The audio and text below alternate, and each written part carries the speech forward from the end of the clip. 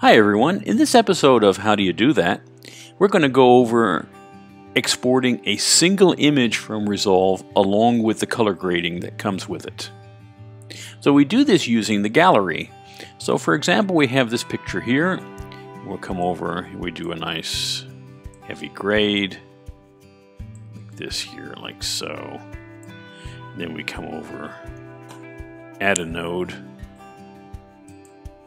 highlight the sky, come like this, and we'll just work on this a little bit. We'll just pick up this in the top part of the mountain, for example.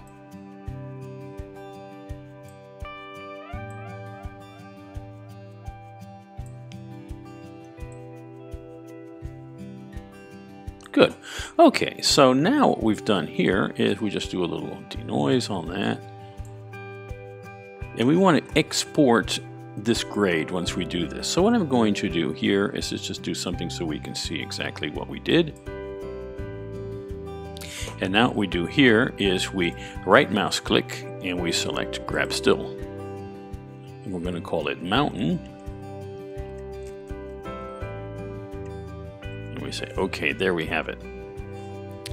Now, what we want to do next is we right mouse click on here and we select export. And then this window will open up. We'll just call it volcano. And now we want to select the file format that we want to save that still as. So what we do here is we select JPEG and I'm going to put it on the desktop. And we say, okay, that's fine. So now this picture has actually been stored on my desktop and now if I want to import that back into Resolve, all I do is I right mouse click here and I select import. Now what will happen here is the desktop indicator here shows me all the files that are available. And as you can see, there's Volcano sitting on the bottom, along with another file that's labeled .drx. That's actually the color correction information that goes along with this still. So in order to be able to re-import this, we have to select the options area and then select JPEG. Now, as you can see, anything that's a JPEG file will be available for importation. So what I do is I select Volcano. I can see there's my correction for that. And then I select Import.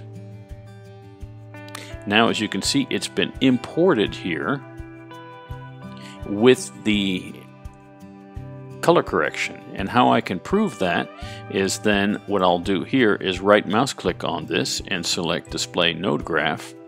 And here you can actually see the color correction information. All three nodes, the node with my qualification, and there we have it. So for more tips and tricks like this, have a look at the other videos on our YouTube channel. And for more information about training services, have a look in the comments below. Thanks and have a great day.